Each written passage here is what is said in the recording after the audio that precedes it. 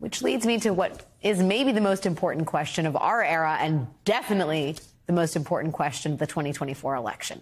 How long until Donald Trump himself is held to account? Joining me now is Andrew Weissmann, former FBI general counsel and co host of the indispensable MSNBC podcast, Prosecuting Donald Trump, and Katie Benner, reporter for the New York Times. Thank you both for being here tonight. Um, Andrew, there is a lot of, well, hindsight's always 2020, but you sort of foresaw how we might get into a problem, um, a problematic area calendar wise. Yep. At the beginning of this, right? I mean, talk to me a little bit about the way the Justice Department pursued the January 6 cases at sort of the inception of these investigations and how that was um, potentially problematic even back then. So I think the big picture is that the judicial system and investigating and prosecuting and giving a defendant time to prepare a, you know, the case um, that's part of due process, all of that is not built to deal with the problem that we are having now. Um, it is it is a long term um, sort of process, mm-hmm. um, and we are dealing with a issue of trying to have accountability. Um, and Judge Chutkan actually made a finding that, that you should have accountability yes. in March. To be clear, she is not intentionally wanting to put this off. Um, she is doing it because of these Necessity. appeals. Exactly. Um, so, you know, going to your, but to answer your question directly in terms of that's something that if you're in the Justice Department, you know that there is that time delay. Mm-hmm. Um, and you're thinking, okay, if there are these crimes in January 6, which, by the way, we all witnessed, so this isn't something where you had to yes, you have to look to build the case, but it's not like you are sitting there going, gee, I wonder if there was a crime committed. Right. Um, and there obviously, you know, I wouldn't say obviously, in my view, there was delay in terms of getting the case off the ground. And Jack Smith was dealt a tough hand in that he was given great facts you know, both of his cases are incredibly strong, but, you know, he had to um, sort of bring them very quickly because he was only appointed not that long ago. Yeah. Um, so he, it's really not on his watch, but I do think part of the reason we're in this sort of looking at the clock so closely. Every week the, counts, yeah. Exactly. And so one of the things you can do just quickly doing the math, March 4th, um, that was the date that Judge Chutkan picked. Um, we know where we are now we know what the delay is of five weeks. So at the earliest, she even if she was given a green light today, today. you have to sort of add in five weeks. So you know that's it gets due sort of mid-April, mm-hmm. um, and so that's certainly you know before the election. But we just still don't have the decision. We don't know what they're going to rule. We don't know if the Supreme Court is going to weigh in on this. So that could be more delay final point before Katie talks is um, just remember the Manhattan District Attorney's Office, their case is scheduled for the end of March. They're willing to take a back seat to um, to Jack Smith's case. But if this delay goes on, the Much one thing longer. I would yeah, the one thing I will say is that case will go first. The Manhattan case, which was brought first, will actually be tried first um, because if this, you know, because the DC case, which obviously is a more important, a bigger case, but there may be enough time to do both.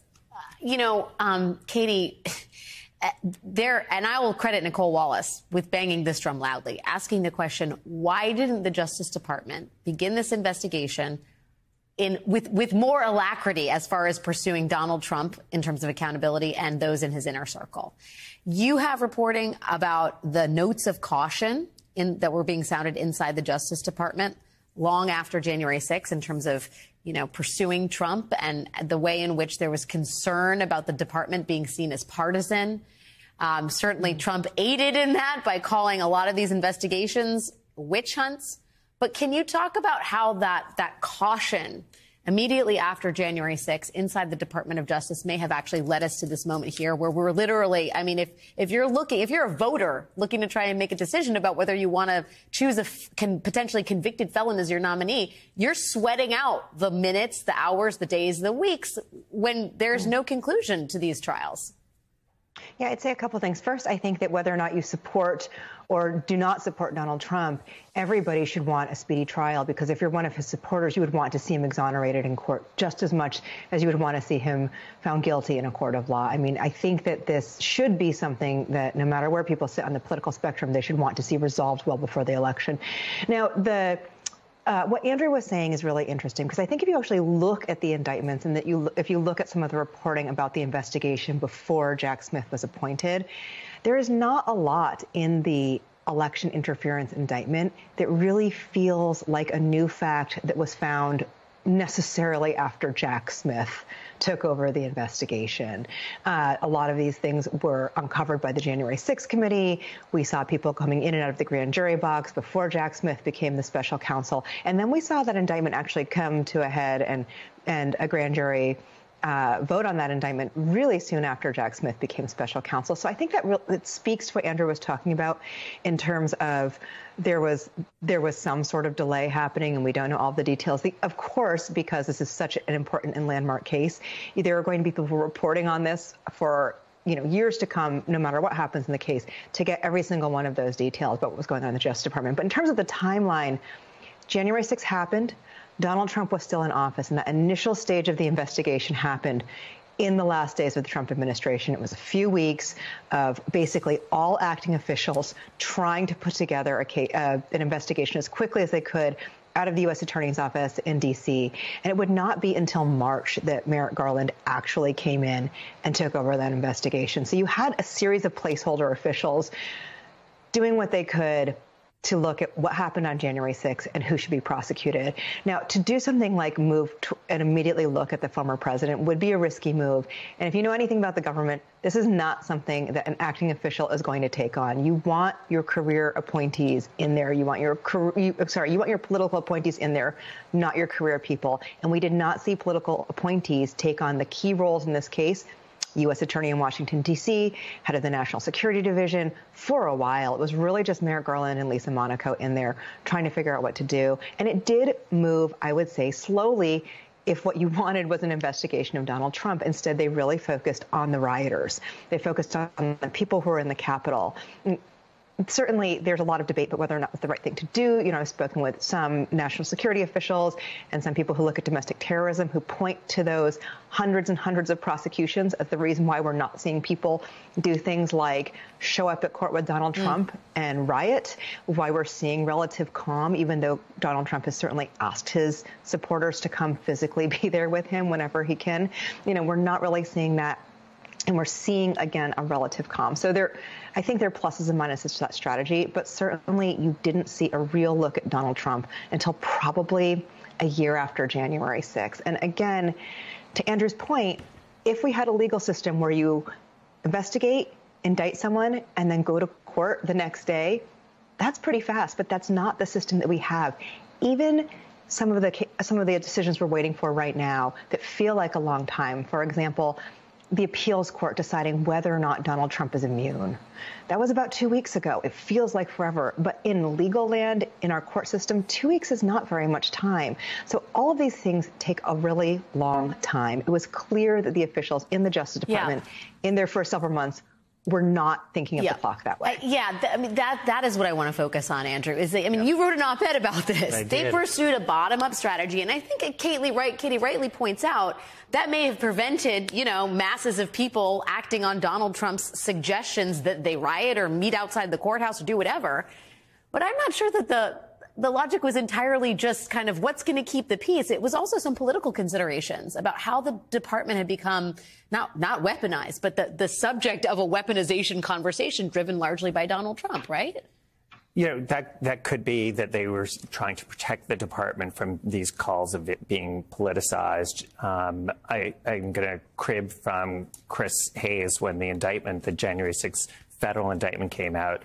And he said, you know, in many ways, this is an indictment of the Justice Department because the one thing that that showed was that was not a bottom up indictment. There was nothing about the bottom that this wasn't cooperators you know, flipping and, and giving you the top. This was by looking at the top and seeing what was going on um, because there was a disconnect between, and they never actually made the case between the sort of people inside the Capitol who were attacking. Um, yes, they were instigated, but they, they, they didn't really show, you know, direct communications um, so they could have made both. And this is one where it's not, to Katie's point, this isn't an either or. You can, of course, the cases against um, the January 6 rioters are righteous cases. The Proud Boys cases, the Oath Keepers, of those course. are incredibly important, difficult, historic cases, and that there's nothing that should be taken away from the Justice Department. But this is um, a Justice Department that is very capable. They can do both. Um, so I think it was the wrong strategy. I think we are owed a huge debt in this country to the January 6th committee mm-hmm. because it really said this is the way you have to look at it. And in many ways, they both shamed the Justice Department because it's so unusual to have Congress ahead of the Justice Department. Having been at the Justice Department, that does not happen. Um, and it also sort of gave permission. Um, it sort of did both. Well, the American public had sort of understood quite clearly yes. what happened, at least televisually. Exactly.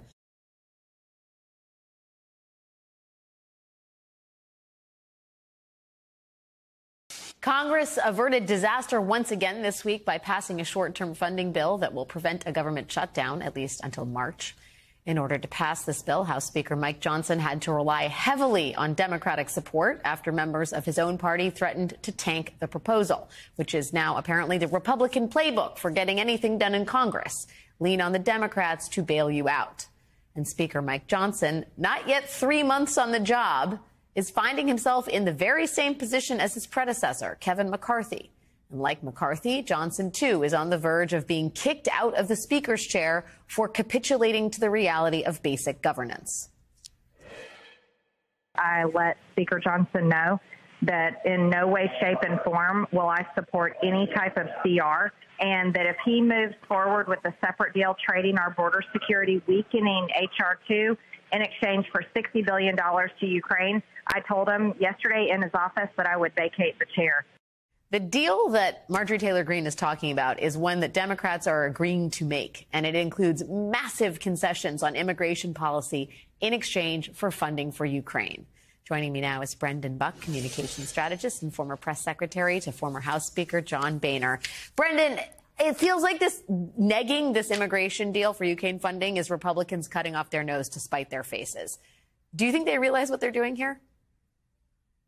Well, there's some people who want to get something done and some people who, who like to have an issue. Look, if you are ever going to solve immigration or at least make progress on immigration, you're a Republican, now is the perfect time to do it.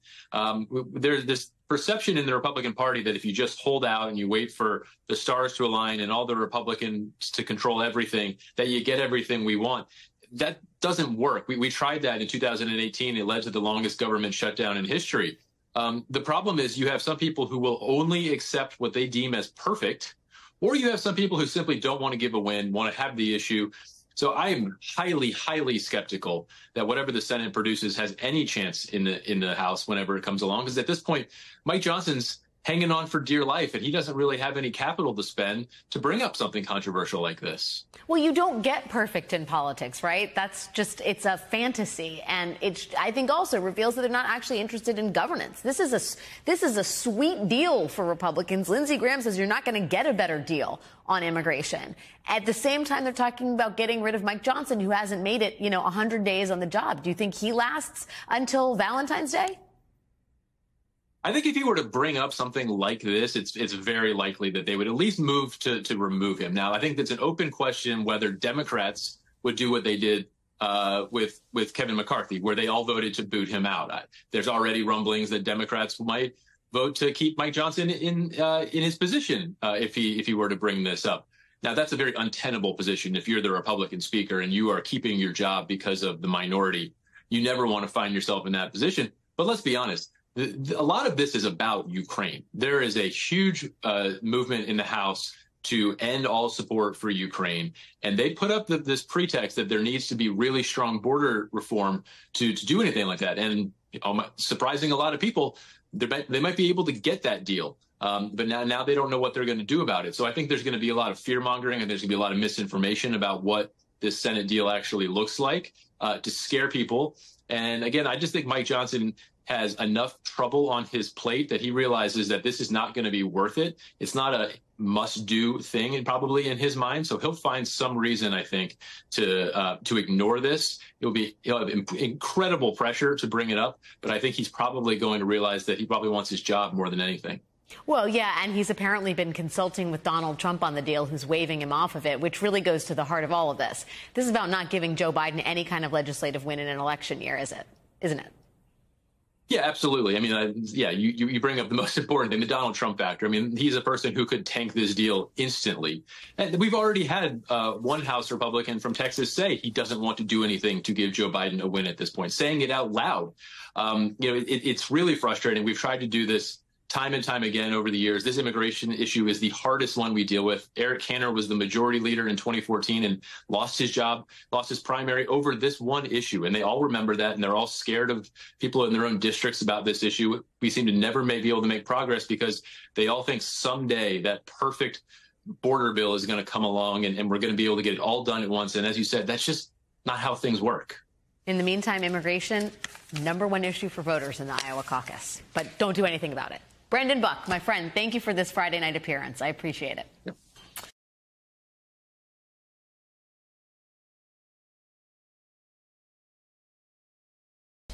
Today, the S&P 500, a benchmark index for the U.S. stock exchange, closed on a record high. But even for Americans who don't own stocks, which is most of the country, the U.S. economy is very healthy. Unemployment is at its lowest level since 2022. Inflation is now coming down to 3.4% from a high of 9.1% in June of 2022. Wages grew last month by 5.2%. Gas averages $3.08 a gallon. But despite all that, many people, especially young people, especially young people on TikTok, have been feeling like the economy is giving recession. Data be damned, the vibes have just been off. They have been saying we are in a vibecession until maybe now. The University of Michigan survey of consumers shows a uh, reading of 78.8 this month, its highest level since July of 2021. Does this mean the good vibes are back? If so, someone call the White House. Uh, oh, wait, never mind. Today I learned the consumer sentiment, you guys saw it, surged by 29% in the last two months, the biggest two month jump in 30 years. We got more to do. Back with me to talk about all this is Robert Gibbs. Robert, I, you know, I thought about the um, early stage of the Obama administration, which you're well familiar with, when, you know, there was a constant sort of attempt to tell the American public, look, the, the economy is going to rebound. We're going to be in turnaround. And then we are in turnaround. But it is very difficult to convince people of something using data unless they have emotional buy-in. And I wonder what lessons, if any, you think there are for the Biden administration in all this, seeing as we do, we do seem, do, things are getting better and people are seemingly beginning to feel better about them. Yeah, look, it feels very analogous to 2009 and 2010, and even running into the reelection campaign in the early 2011. And and I learned then, and I think the Biden administration is learning now, you can't get people to feel something and buy into something that they aren't feeling. And you can you can have all the numbers in the world, and every one of those numbers that you put up shows progress in the right direction. Uh, but this news today is huge. We haven't seen a jump like this in consumer uh, positive consumer sentiment since before Bill Clinton was elected president. So it's been a long time. This is a real shot in the arm or potential shot in the arm for the reelection campaign because I think what's most troubling when you look at a poll and people are asked, was the economy better under Trump or Biden?